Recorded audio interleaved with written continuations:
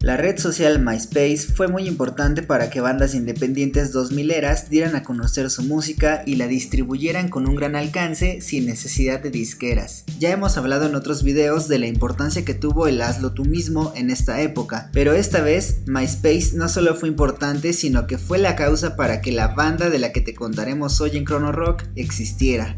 Estamos hablando de Hello Seahorse, formados en la Ciudad de México en 2005. Denise Gutiérrez desde pequeña se interesó por cantar. A sus 10 años ya formaba parte del coro infantil del Liceo Franco-Mexicano, lo que le permitió tener presentaciones en recintos importantes como la Catedral de Notre Dame en París. Unos años más tarde quiso formar parte de una banda. Ella quería ser la mujer que estuviera al frente del escenario y un día esa oportunidad la encontró. Fue por MySpace que ella vio una convocatoria en la que buscaban vocalista, los contactó y detrás de esa convocatoria estaban Fernando Burgos, Oro de Neta, y Gabriel de León, Bones. De acuerdo con la cantante, los primeros ensayos fueron nada alentadores, pero entre el cuarto o quinto ensayo comenzaron a hallar su camino musical. El nombre de la banda no tiene un significado concreto. La propia Denise ha afirmado que salió mientras tomaban unas cervezas. Solo estaban seguros de querer romper con el patrón de las bandas de esa época, pues la mayoría utilizaban el pronombre los. En 2006 llegó el disco debut And the Jellyfish Parade, el cual contiene canciones como Can't Let You Go, Multicolor, Cassette, Squarehead, entre otras. Dos años más tarde publicaron Hoy a las 8, con canciones como Won't Say Anything, No Encontré Nada, Universo 2, OK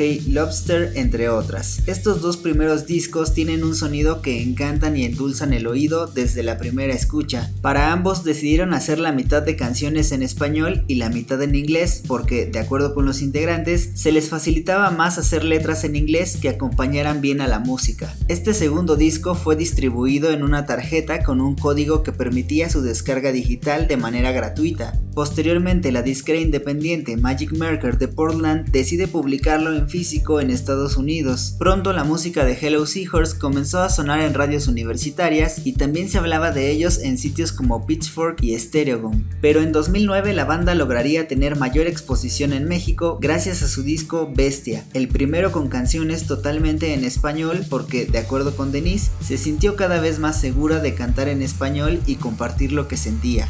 Bestia fue producido por Yamil Resk, contiene canciones como Criminal, Oso Polar, Siberia, El Recuerdo, la que le da nombre al disco, entre otras. Con este trabajo despegaron, empezaron a sonar cada vez más en la radio y a hacerse de más seguidores. Tuvo una edición especial que incluye la versión acústica de la canción Bestia y remixes de Toy Selecta y Julieta Venegas. 2010 fue el año en que conocimos su cuarto disco, Lejos no tan lejos. Aquí ya se notaba por completo una Denise imponente, luciendo esa gran voz, regalándonos de su talento en cada canción. Ginebra Dulce, Casa Vacía, Un Año Quebrado, Me Has Olvidado, Fieras, Oro y Plata y Velo de Novia son algunas de las canciones que incluye. Para este punto de la historia ya eran una banda con presencia en grandes festivales como Vive Latino, MX Beat, South by Southwest y en 2012 se presentaron en Coachella. En ese mismo año publicaron Arunima, llamado así por el nombre de un perfume y en sánscrito significa resplandor del amanecer. De acuerdo con Denise, eligió ese nombre para el disco porque quería recordar una relación que había concluido. Cuando olió ese perfume, de inmediato le hizo pensar en eso que quería recordar. Contiene canciones como La Flotadera, No es que no te quiera, No te vayas al bosque, El artista, la que le da nombre al disco, entre otras. Pasaron cuatro años para conocer Entre tanto, una colección de cuatro sencillos con sus respectivos videos que al juntarlos se convierten en un cortometraje. En 2017 lanzaron el sencillo ¿Dónde estabas azul? en el que reflejan lo que sintieron luego del sismo del 19 de septiembre de ese año. Y posteriormente salieron remixes de esta canción hechos por Wet Bass, Doctor Supreme, Evil Tapes, entre otros.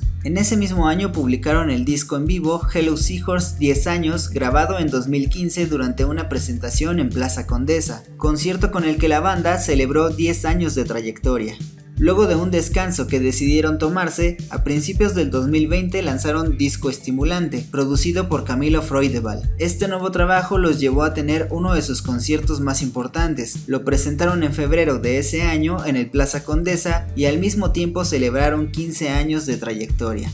De acuerdo con los integrantes, para este disco quisieron reflejar distintas sensaciones, sentimientos, así como hablar de los estímulos para sobrevivir, composiciones que abordan el bienestar. Contiene canciones como Dominó, Incendio, Sublime, Diferente, Mujer, la cual está inspirada en la abuela de Denise, Gratitud, entre otras. Posteriormente sacaron dos EPs con remixes y varias canciones de disco estimulante. Participan artistas como Valentina Moretti, Plano, Clubs, Ilse Hendrix, Esami Pau y más. Durante la pandemia, Hello Seahorse hizo algunos conciertos en streaming tocando sus discos completos. Esta manera de reencontrarse con sus canciones los llevó a reversionar algunas. Así conocimos un par de EPs, Recuerdos 2020, el cual incluye 6 canciones del disco Bestia llevadas a esa actualidad de la banda, y Recuerdos Arunima, 10 años, el cual contiene canciones de ese disco, entre ellas No te vayas al bosque con colaboración de Eli Guerra. Sinceramente esa versión quedó increíble.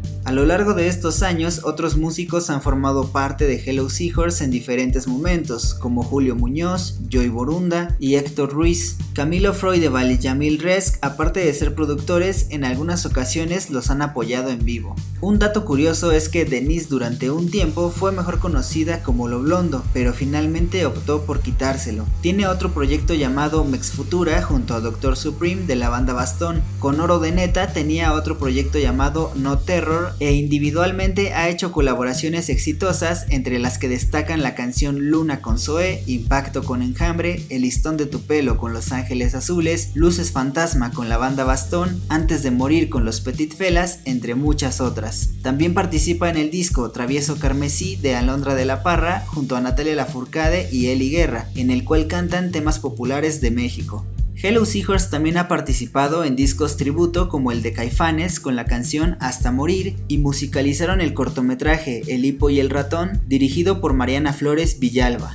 En 2023 publicaron Hyper, disco con un lado enfocado en lo electrónico. Si bien siempre había algunos matices de lo electrónico en sus trabajos anteriores, esta vez es parte esencial. La alineación se transformó en trío con Bones, Oro de Neta y Denise, y este nuevo lanzamiento lo trabajaron con cuatro productores, Ulises Lozano de Kinky, Milo Freudeval, Yamil Resk y Dan Solo. Contiene canciones como Medianoche, Amor Volcán, Para Siempre, El Final, Todo lo que hice, hipersensible, entre otras. De acuerdo con los integrantes, marca una nueva etapa en su trayectoria.